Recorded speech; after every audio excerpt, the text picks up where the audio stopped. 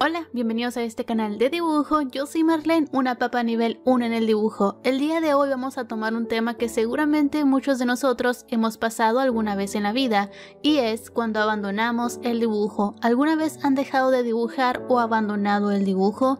Ya sea para siempre o por un tiempo prolongado. Les hice esta pregunta en la comunidad de YouTube para que nos compartieran sus historias, y la verdad es que dejaron bastantes comentarios como para dos videos, así que esta será la parte 1 y habrá una parte 2 de este mismo tema, la meta es llegar a 3000 likes en este video. De fondo voy a estar dibujando tonterías seguramente mientras leo sus historias. Les pondré música triste para que lloremos al identificarnos con alguna historia narrada. Y si tienes tu historia de cómo abandonaste el dibujo, déjala en los comentarios.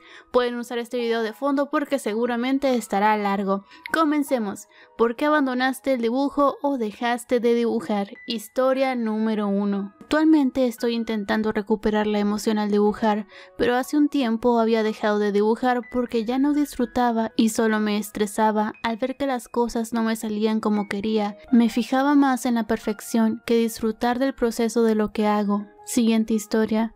Pasé un año sin dibujar. El año pasado me dio una fuerte depresión que me quitó las ganas de hacer todo lo que me gustaba. Suena trágico, pero se supera. La siguiente historia dice así. Hace algún par de años me quedé en un bloqueo creativo, sentía que no mejoraba y que me estaba estancando. Al mismo tiempo comencé a tener problemas emocionales y de ansiedad, así que lo abandoné por completo, pero recientemente he estado intentando retomarlo. Me cuesta mucho pero sigo en ello, porque realmente es algo que me gusta mucho y amaba hacer hace años. La siguiente historia dice así.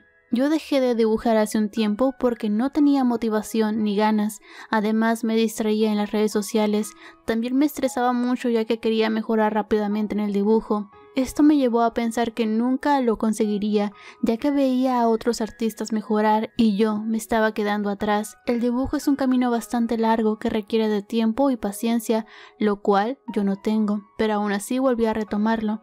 Es algo que me gusta mucho y disfruto, por eso intentaré mejorar a mi ritmo y no me voy a exigir tanto para no agobiarme. Siguiente historia. Desde pequeña siempre me encantaba recibir cumplidos de la gente por mis dibujos. Me gustaba tanto que lo empecé a usar como tapadera para mis problemas. Cuando me sentía triste hacía un dibujo y se lo enseñaba a toda mi familia y amigos para que me dijeran cosas bonitas pero poco a poco esas palabras se fueron convirtiendo en sonidos molestos y cada vez mis ganas de dibujar iban disminuyendo hasta que dejé de dibujar por completo. Eso afectó cada parte de mí. No sentía nada y hacía nada. Estaba totalmente neutra hasta que un día estaba lloviendo y me dio por salir a mojarme un poco. En el instante que mi dedo tocó el agua de la lluvia, sentí algo que no había sentido en mucho tiempo, inspiración. Rápidamente me metí a mi casa y saqué un cuaderno de mi escuela. Empecé a dibujar y de repente se sintió como si mi mano se moviera sola y gracias a eso, a día de hoy, sigo dibujando y esforzándome en superar mis metas. Saludos. La siguiente historia dice así, mi historia es algo tonta, pero de todas maneras no creo que la lean y si es así, aquí está. Hace dos años máximo viajé para vivir con mi padre y yo tenía mucha constancia dibujando. Dibujaba día y noche, ya que me ayudaba con mis problemas en esos tiempos, pero al parecer después de dejar de dibujar tantos años con papá, me di cuenta que a él no le gustaba que dibujara, incluso me prohibió que lo hiciera, me dijo cosas como ¿No eres capaz de dibujar algo más? Dibujas horrible, me dan asco tus dibujos, entre otras cosas, sufrí mucho en su momento porque el dibujo era algo que me había ayudado a no recaer en pensamientos suicidas y pues me lo estaban quitando. Llegué a tener fuertes discusiones con mis padres, sobre todo hasta el punto de golpearme gravemente. Unos días después me mudé con mi mamá y mis tres hermanos. No fue muy diferente. Mi mamá me decía que lo que dibujaba era del diablo, que si me volvía a ver dibujar se iba a recordar de quién me parió, entre otras cosas, mientras mis hermanos se burlaban y me criticaban por mis gustos.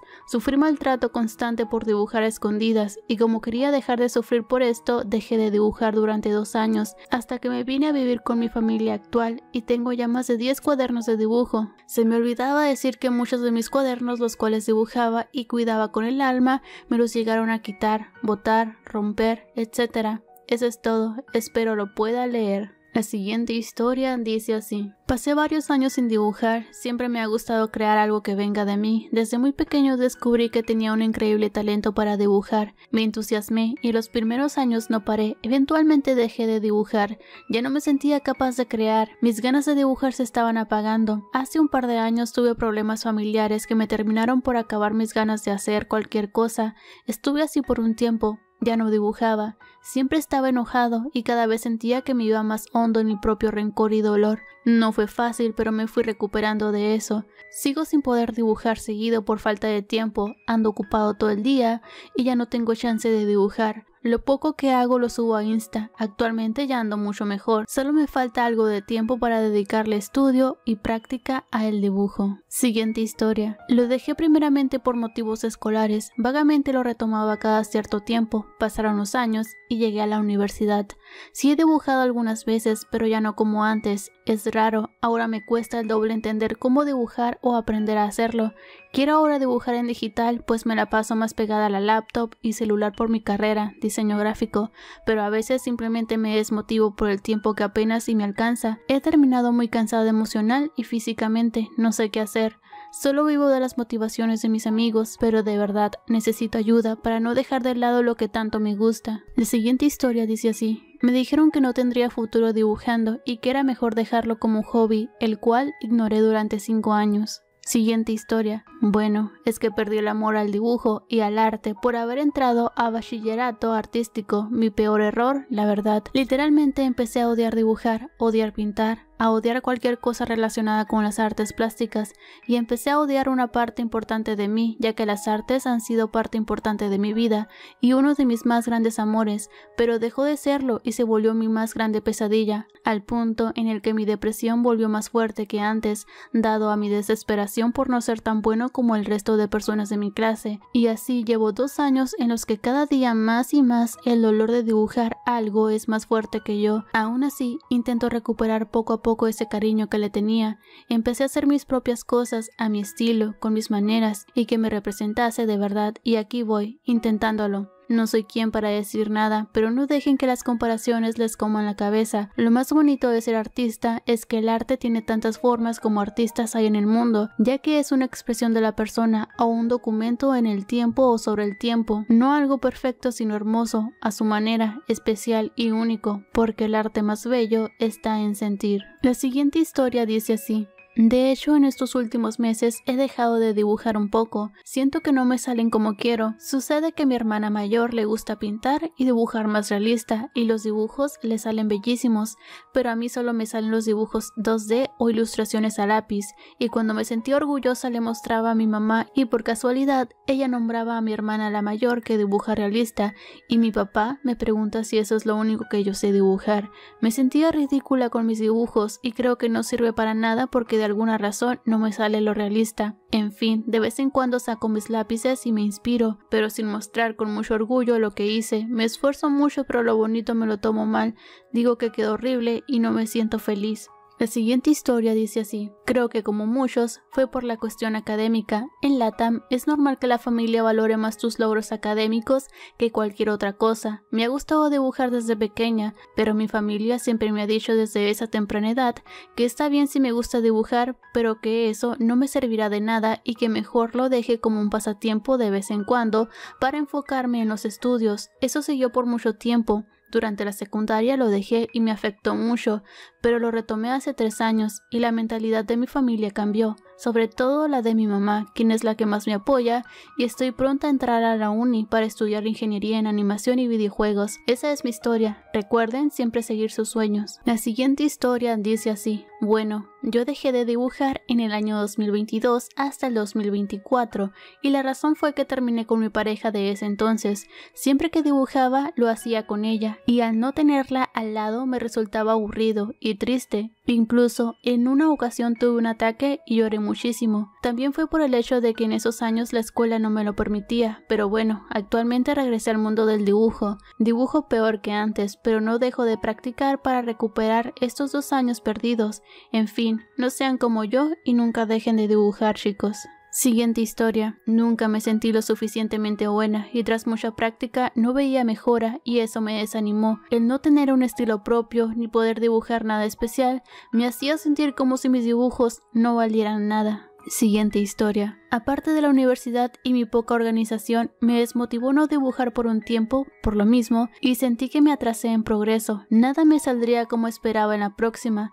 También caí en la comparación con otros artistas en redes sociales. Aún así, lo he disfrutado desde que tengo memoria y ahora hay muchas ideas que en serio quiero compartir. Siguiente historia. Yo dejé de dibujar por las burlas y la crítica. Una es que mi abuela no solo no me apoyaba, sino que decía que solo dibujaba o hacía figuras para llamar la cosa que no tiene sentido ya que dibujaba y hacía mis figuras para mí, no para mostrarlas a nadie. Desde pequeño yo dibujaba y hacía mis propios juguetes. Le regalé un ave fénix que días después recogí de la basura hecho bola y en esos mismos meses me encargaron una tarea en la escuela, llevar algo relacionado con algún talento que tengamos. Yo llevé cuatro dibujos a bolígrafo en una cartulina y cuando los expuse todos empezaron a decir que estaban mal, que no tenía talento, burlas y que estaban bien feitos, y el profesor no ayudó en lo absoluto. Solo regresé a mi asiento y me cubrí con mi gorro con ganas de llorar. A partir de ese día dejé de dibujar y de hacer figuras. No fue hasta después que en la pandemia que caí en depresión. No quería hacer nada, solo me la pasaba en mi cuarto, llorando y durmiendo, solo, ya que nunca hice amigos, ni siquiera hoy los tengo. Siempre he sido alguien solitario. No quería estar, ni hacer, ni ser en ese tiempo. Quien haya pasado por algo similar me entenderá. A manera de evadirme empecé a dibujar de nuevo. Como era pandemia y me dieron de baja en la universidad por falta del certificado de preparatoria, que no me entregaron por la pandemia, y no tenía nada más que hacer ni que perder y solo quería evadirme, comencé a dibujar casi todo el día, todos los días. Comencé a retomar el dibujo y la confianza en mí. A día de hoy estoy satisfecho con cómo dibujo y emocionalmente estoy bien. Sigo haciendo mis dibujos para mí, Ahora es mi abuela la que quiere enseñarle mis dibujos a todos y me llevo mejor con ella. Hace no mucho encontré esos dibujos y con un nuevo criterio puedo decir que no estaban mal. No sé por qué fueron tan duros. Amo el dibujo y gracias a él y terapia psicológica pude salir de esa mala situación. Hoy trabajo en una papelería y en mi tiempo libre, cuando no hay clientes ni nada que acomodar, dibujo. No dejen de hacer algo que te apasiona solo por malas críticas. El tiempo pasa muy rápido. Aprovechen lo mejor que puedan cada día. Siguiente historia. Bueno, supongo que es hora de desahogarme un poco. Antes amaba dibujar, me divertía y quería compartirlo con otras personas. Me topé con una aplicación y empecé a publicar mi contenido. Hice amigos allí y todo estaba tranquilo, pero mi inmadurez provocó que hiciera cosas de las cuales me da muchísima vergüenza contar. Solo diré que dañé a alguno de mis amigos y le dije cosas hirientes. Al sentirme culpable de ello, mi pasión por dibujar se iba poco a poco. Al ya no tener amigos que vieran lo que dibujaba, ya que obviamente no querían volver a hablar conmigo, no tenía motivación para seguir haciéndolo. Mi cabeza se llenaba de culpa y no podía concentrarme. Para colmo, un acosador que antes era un buen amigo mío se aprovechó de todo e hizo un hilo en Twitter burlándose de mi comportamiento. Eso fue lo que empeoró mi estrés. Para colmo no podía decirle a mis padres por miedo a lo que podrían decir, ya que nunca les conté que hablaba con extraños en Internet. Ahora estoy intentando dibujar como antes, pero más concentrándome en cambiar mi actitud para volver a publicar mis dibujos y ser mejor. Solo espero que mis ex amigos se encuentren bien, Claramente lo merecía y me alegra tener la oportunidad de madurar. No sé si le diré a mis padres lo sucedido, tengo mucho miedo de lo que dirán. Les aconsejo valorar su vida y a sus amigos, sobre todo si esos amigos son de la vida real. Vamos con la última historia de este video, va a estar un poquito larga, así que vamos a ello. Me das justo en el clavo porque yo prácticamente abandoné el dibujo y pues en realidad todo tipo artístico. Del 2019 para atrás intentaba, me daba algo de tiempo entre el trabajo y el dibujo, iba a cursos, clases pagadas y lo hacía, pero llegó pandemia, perdí mi trabajo y al mismo tiempo me enfermé infernalmente. Tuve dolor crónico unos 3 centímetros más abajo del ombligo, adentro en lo profundo, Permanecí hinchada como globo y el dolor era 24/7 todos los días de mi vida. Solo empezó un día y el infierno vino a mí. Fui al médico De todo hice, tomé pastas hasta ahogarme y nada me quitaba el dolor. Ese dolor si lo describo es como una puñalada, es igual al dolor de cuando te llega la regla cada mes y te dan esos cólicos que quieres morir como calambres que bajan a las piernas y se va a la espalda. El dolor era tan así, pero sin haber periodo día y noche 365 días del año. Justo en el 2020 me regalaron mi primer iPad porque tenía planeado entrar más al ámbito digital. Ya lo había probado y quería seguir subiendo de nivel, pero el dolor que me hacía gritar como espina clavada sin que nadie me dijera por qué, Entré en una profunda depresión, lloraba, reclamaba, no quería pararme de la cama, solo dormida me daba algo de paz eso, no quería despertar, quería morirme. Me hicieron infiltraciones, me daban acupuntura de todo, nada funcionaba, nada me quitaba el dolor, en la desesperación de quererme echar a un carro los días que medio me dejaba, porque bajaba la intensidad de ese dolor, medio tocaba mi iPad Pro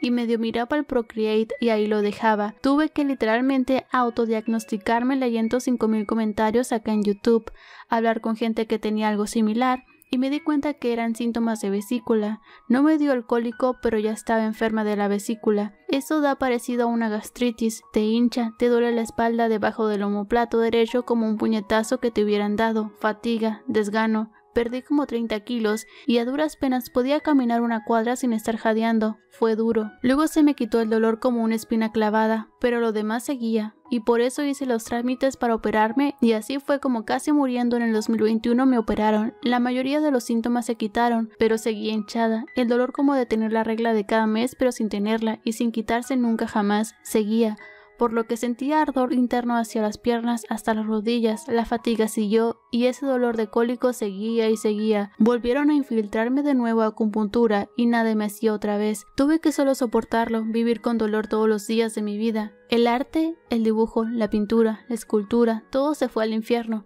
Mi vida entera se estancó, se puso en pausa, ya no salía de la cama, no quería abrir los ojos, me dieron medicina psiquiátrica y me hacía dormir y dormir y me sentía borracha todo el día. Los días solo pasaban y ya, amanecía igual que anochecía y así todos los días, deseando morirme a seguir con dolor. Si me decían cuál era el dolor en escala del 1 al 10, donde 10 es muy doloroso y alto, yo decía 11 y así pasó 2021, sin poder trabajar, sin poder pintar o dibujar, sin poder vivir. Luego llegó 2022 y seguía resignada al dolor que no se quitaba. Me hicieron ir a Reiki y me bajó solo unos 3 puntos del dolor. De 10 pasó a 7, pero el dolor seguía constante, sin quitarse nunca. Hinchada, no igual. Iba al médico, pero nada me hacían. El seguro público no me ayudaba en nada. Gasté todos los ahorros en medicamentos inútiles, médicos particulares que tampoco ayudaron.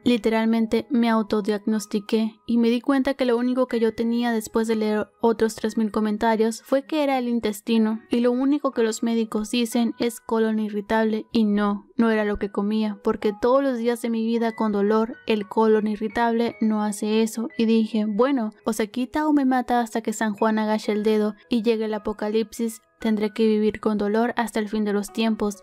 ¿Quién puede dibujar o pensar o lo que sea con dolor? Imposible.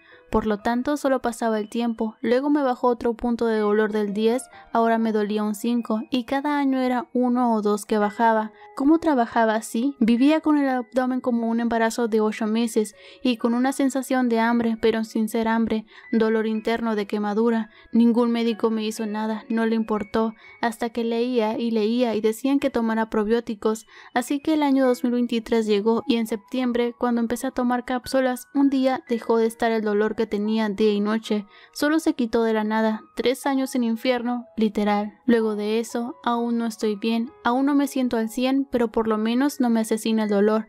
Sufro de efectos secundarios de esa cirugía a una hora, pero solito el cuerpo se mejoró. Estoy aún deprimida, he perdido práctica, veo videos de dibujo para animarme, para ver si me encuentro de nuevo, pero no lo logro. Siento que estoy estancada, que no puedo salir de ahí, que me volví torpe, que lo que sabía era efímero y obsoleto. Veo muchos videos sobre color también, a ver si logro encontrar motivación, pero mis ganas a veces vienen a pero se quedan en eso, sin lograr ir más allá. Todo cambió desde pandemia y en mi caso no por el COVID, sino por todo lo que he tenido que vivir. Ha sido horrible, no logro avanzar. No logro iniciar, aún me duele, aún me hincho, ya no soy la misma para disfrutar y amar todo lo artístico que hacía, me quedé atrás y no siento que pueda retomar sin prejuicios, me ha dado durísimo siquiera coger un lápiz, la tablet, el Apple Pencil, ni una línea puedo hacer. Traté de hacer uno en lienzo y duré casi el año entero pintando eso con un montón de errores de frustración. Ya no tengo la capacidad, ni la salud,